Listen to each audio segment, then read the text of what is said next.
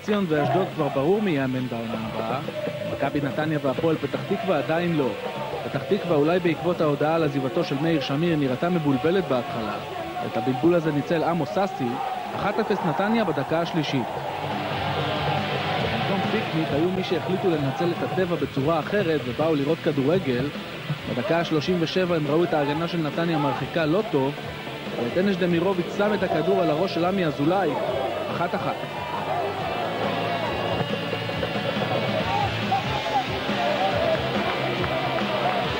נתניה שרק במחזור הקודם נשארה סופית בליגה הייתה משוחררת יותר. בדקה 42 לירון וילנר החליט לליאור גניש. נעצר רק ברשת 2-1 בהפסקה למכבי נתניה. 45 הדקות של המחצית השנייה הקבוצות העבירו בלי שערים. ובתוספת הזמן גיא צרפתי הכין למשה גלם נתניה מנצחת 3-1 בסיום.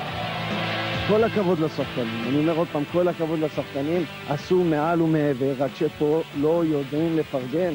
היו הרבה מאוד דברים חיוביים שנעשו במועדון הזה, והיו גם דברים פחות טובים, אבל את זה אני אשמור לעצמי.